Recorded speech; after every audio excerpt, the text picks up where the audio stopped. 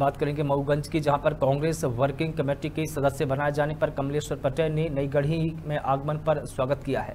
बता दें कि कांग्रेस नेता ममता कुंज बिहारी तिवारी के नेतृत्व में 150 वाहनों और 200 से अधिक मोटरसाइकिल वाहनों की रैली के साथ में पूर्व मंत्री कमलेश्वर पटेल का स्वागत किया गया।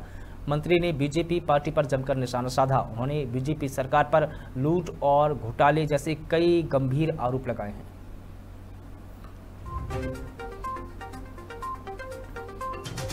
संख्या में कांग्रेस पार्टी के विधायक जीत के आएँगे।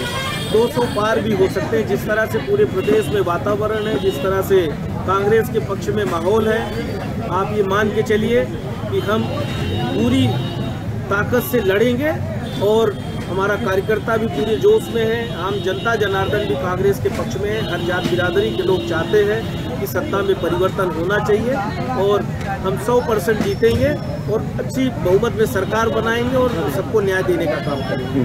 भारतीय जनता पार्टी के मुख्यमंत्री और नरोत्तम मिश्रा भी खुले मन से स्वीकार करते हैं कि गलत हो रहा है। क्या? और पूरा जनपद अध्यक्ष ने प्रस्ताव भी किए जिस कर्मचारी ने गलत किया तो विधानसभा अध्यक्ष जब ऐसी स्थिति हुई तो क्यों उन कर्मचारियों पे कार्यवाही के लिए लिखा नहीं? क्यों? खुले मन से नहीं बोला? क्या विधानसभा अध्यक्ष इस क्षेत्र के साथ भी भेदभाव कर रहे हैं। पूरा भेदभाव कर रहे हैं। कैसे भेदभाव? यहाँ पे सूखाग्रस्त क्षेत्र है। जनपद की बाडी ने नब्बे मोटर के प्रस्ताव किए। राशि जारी नहीं होने पाई। जनपद की जो राशि है वो जारी नहीं हो पाई। और अड़सठ बोर के जो प्रस्ताव थे और वो टेंडर भी लगे। आप सबने देखा होगा टेंडर निरस्त कर दिए गए। हर जगह भेदभाव है। आपकी दावेदारी कहाँ तक?